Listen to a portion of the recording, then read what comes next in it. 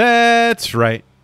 Back at it again, Full Custom Hot Dog here, and we're going to be doing another movie review. That's right, that's right. And today we're going to be talking about the 2021 Taiwanese horror flick, The Sadness.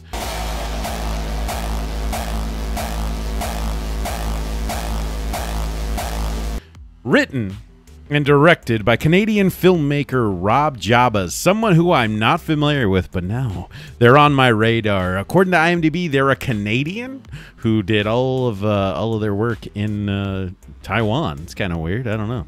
Kind of curious to know what his backstory is. If he was a traveler or a transplant, what happened? But this is a banger. He'd been doing animated films for a while. Now he did his first feature length, and it is surprised me. This was recommended by Huds, who you may have seen in the comments. Uh, absolute G. This one caught me off guard because I had heard a few things that it is brutal. There is uh, rape.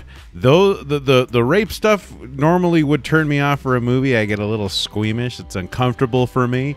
But in this film, it's fine. The what ha- so what this movie is about? There's a virus called the Alvin virus. There's parallels here with Corona. The Alvin virus all these people had this Alvin virus, and everyone's like, "Oh, it did nothing. Everything's cool." See, and the scientist is saying, "No, no, no, no, no. It's about what it's capable of doing. See, there's all these things in here, and it can very easily mutate. It does mutate, which then causes people to just go nuts. Not only incredibly violent, but incredibly." horny. So everyone's just trying to nut and kill and uh, it's pretty brutal. One of the things that came to my mind while uh, while watching this was the comic Crossed. I don't know if any of you have ever read it. Similar type of thing. I think there's a virus. I haven't read a ton of it. I just read a couple random issues. But these people have these cross marks of blood on their face, and it causes them to go crazy, uh, become utterly degenerate, and uh, extremely depraved. So just full of again disgusting murders and disgusting sexual crimes. And this shares those parallels. But given that, this movie's done surprisingly well. Majority practical effects, which is great for a lot of you guys out there who hate a lot of this CG nonsense too. I do for the most part. I, I primarily do when I notice it. But here you get a lot of just crazy effects heads blowing up, uh, eyeballs getting jabbed.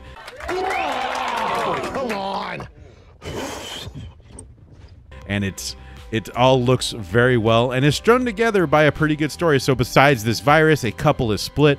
A guy drops his uh, IRL waifu off at work or at the, the subway train. She's got to go to work, and then this virus hits on both of their sides, and now they're trying to meet up.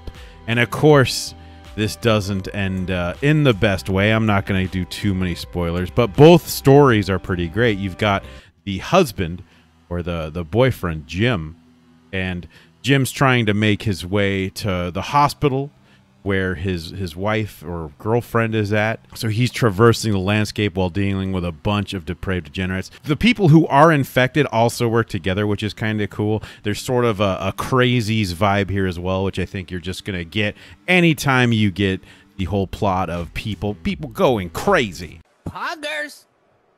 On her end, though, she's on the subway and she's talking to the, or she's reading a book. She's on the subway and she's reading a book, and this businessman's trying to holla, trying to spit some game, trying to talk to her, and she's not having it. She's reading her book. Leave her alone.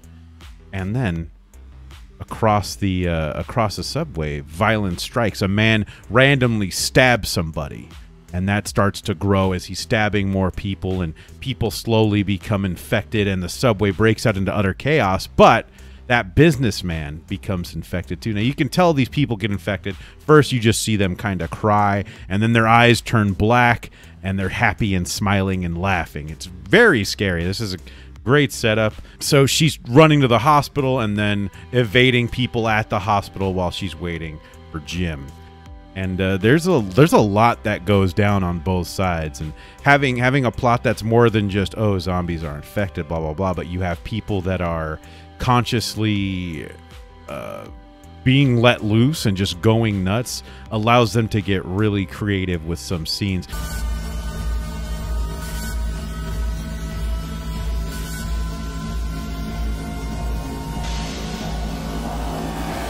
there's a gnarly scene that that that really messed me up where Jim is uh, he comes across a, a basketball court and there's some youths beating just beating the shit out of a guy with bats and uh, they one of them goes like, "Oh, I've got an idea." So they can't communicate and stuff like normal. Like I said, they can work in tandem and teams. And he's like, "I got an idea," and he wraps some barbed wire around the basketball pole, and they pick the dude up and they just ram him into that thing, balls first and then uh, Jim comes in to, to try to save the guy, and and that scene even has some pretty wild twists and turns that shook me up. So this is a, a solid film, Shudder exclusive, I believe. It's streaming on Shudder right now.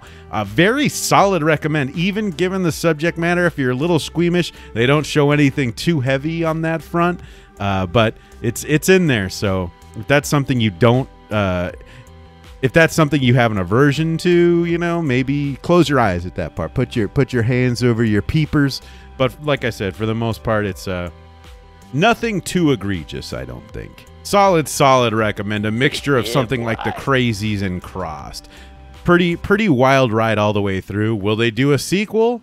Eh, I'd watch it if you give me the same director. I want to know what this guy does next. He definitely got a lot of energy in this. Apparently, this film was funded with a mix of cryptocurrency and revenue from a producer's cam girl business. That's according to IMDb. There's a couple choice tidbits in there, but all of it shot in Taiwan. Pretty wild.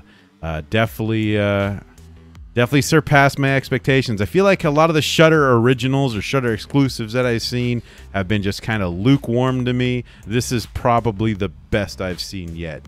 At least I think. This and uh, Terrified. I rewatched Terrified recently. Also another good one. I'm never sure what the plot is in that one though. I reviewed that one a while ago. It's something with the water, some in these interdimensional things, but this I think with with a much more simple premise they, they just both have good scares, but I think this is the this is a better film. So definitely, if you've got Shudder, check out the Sadness. There's no reason not to if you have it. That's why you're paying for the damn thing is to watch some great exclusive content like this. So. Huds, thank you for the recommend. Um, uh, I got a couple other things that I can't wait to take a look at next, but definitely, definitely, definitely, definitely, definitely, definitely check out the sadness.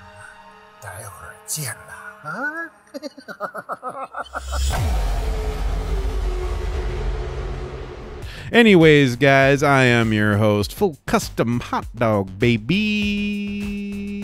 And you can follow me on Twitter. It's Full Custom Hot Dog without the last oh, because that's just too long for Twitter. So, thank you all for watching, and until next time. If you like what you see, I love what I see. Make sure to hit that subscribe button and the bell for notifications so you can watch whatever comes next. And if you like the music you hear, you can follow me on SoundCloud and Spotify. Check the description for links.